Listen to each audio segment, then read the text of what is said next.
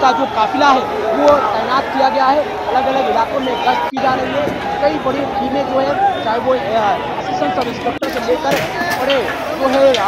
CP जो है, वो यहाँ पर मौजूद है। सभी का जो कार्रवाई है, वो शुरू है। हालाँकि जो सबसे अहम मुद्दा था, वो था उपद्रवियों का। जो उपद्रवियों जो है वो रात के दौरान जो है पत्थरमारी की थी। यहाँ से ही यहाँ से ही पत्थर मारा जो है पत्थरबाजी की गई थी पत्थरबाजी करने के बाद जो है हाल में जो है सूरत महानगर पालिका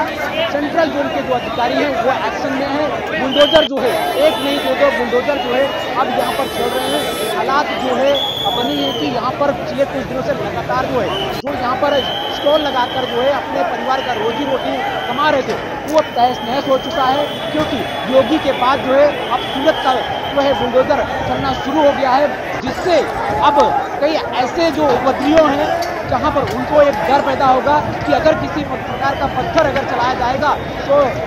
गुजरात सरकार जो है, किसी तरह का बुलडोजर जो है, उनके रोज़गार पर चलेगा, उनके घर पर चलेगा, ताकि उनके अंदर डर पैदा हो और इस तरह का उपद्रव जो है, अब देखने को ना मिले, उसके लिए एक बड़ा कदम जो है सूरत महानगर पालिका द्वारा उठाया गया है। सूरत म्यूनसिपल कमिश्नर का एक बेहतरीन जो कार्य है, वो यहाँ पर देखने को मिलता है। लेकिन सबसे जो सवाल था, वो उपद्रवियों का तो पुलिस ने तीन ऐसे एफ़ आई आर दर्ज की है, जिसमें सत्ताईस से तीस लोगों को हिरासत में लिया गया है। उनसे पूछताछ की जा रही है। तो ये मामला बेहद संगीन था। इसीलिए गुजरात सरकार से लेकर डीजीपी और सूरत के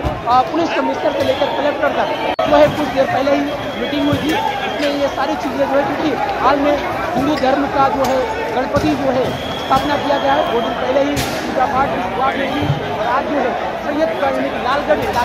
इलाके में इस तरह की जो है, कहीं ना कहीं एक बड़ा उपद्रव जो है, देखने को मिला था, जिसके बाद पुलिस ने एक्शन मोड में आई और हाल में सूरत महानगर पालिका भी एक्शन मोड में आ चुकी है, जहाँ पर ये जो स्थल है सैयदपुरा पुलिस चौकी के पास में, वो जो है अब उस पर बहस करने के लिए बुलडोजर चलना शुरू हो गया। सूरत से कैमरा में सागर के साथ राजेश सूरत